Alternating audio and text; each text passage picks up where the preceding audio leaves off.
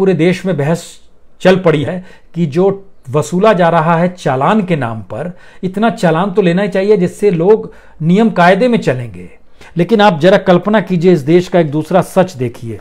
ये सच तो और भयावह स्थिति है, जिस देश के भीतर पचास हज़ार या उससे ज़्यादा हर महीने कमाने वालों की तादाद सिर्फ़ तीन दशमलव छह फ़ीसदी हो।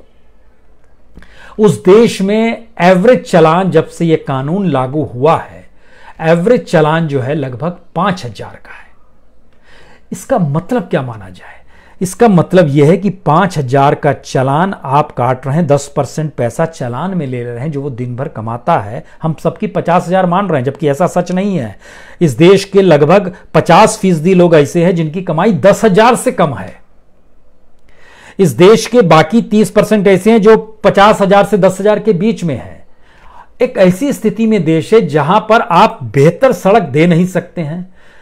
रात के समय में सड़कों पर लाइट जलती नहीं है।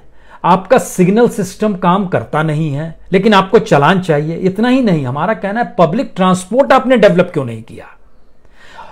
दुनिया में भारत ऐसे देशों में शुमार है जहाँ पे सबसे कम पब्लिक ट्रांसपोर्ट है। स्थिति यह है कि अगर रेलवे के हिस्से को निकाल दीजिए, जो इस देश में लाइफ लाइन है, और सड़क पर दौड़ने वाली, अगर आप उस पर आ जाते हैं, सड़क पर दौड़ने वाली गाड़ियों के मद्देनजर तो भारत में सिर्फ़ 1.8 परसेंट ही आप ट्रांसपोर्ट मुहैया करा पा रहे हैं और जिनसे आप चलान ले रहे हैं, उनका रेंज लगभग 12.8 परसेंट है। इसके मतलब क्या है? इसका मतलब बहुत साफ़ है कि सरकार के पास विजन देश को चलाने का नहीं है। सरकार किस रूप में चलती रहे और पैसा किस रूप में आता रहे और जिस डेमोक्रेसी के ढांचे को हमने कटघरे में खड़ा कर दिया है, उसका एक पिंजड़ा बना दिया है, उसके उसमें बैठी हुई सोने की चिड़िया को हमने सोना छीन लिया, गर्दन दबा दी, पंख फड़फड़ा रहे हैं। इन स्थितियों में हमारे देश की इकोनॉमी का पहला और आखिरी नियम उस डेमोक्रेसी पर टिक गया है, जिस डेमोक्रेसी का मतलब चुनाव होता है। और चुनाव में जीतने वाला शख्स हर तरीके से मान लिया जाता है कि उसने कोई अपराध किया ही नहीं है।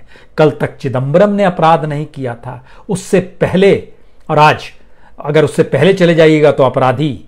जब गुजरात में थे तो अमित शाह थे, जो मौजूदा वक्त में देश के गृह मंत्री हैं। अब चिदंबरम अपराधी हैं। आने वाले वक्त में कोई एक्स वाई जेड कोई तीसरा चौथा हो सकता है। ए राजा ने चीज़ें डुबाई थी टेलीकॉम के क्षेत्र में। उनको भी जेल जाना पड़ा था। मौजूदा वक्त में जो चीज़ें डुबाई जा रही है, वो आने वाला वक्त तय करेगा।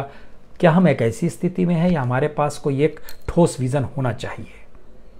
रशिया को हम बोल कर आ गए कि हम आपको एक अरब डॉलर देंगे। शानदार बात है।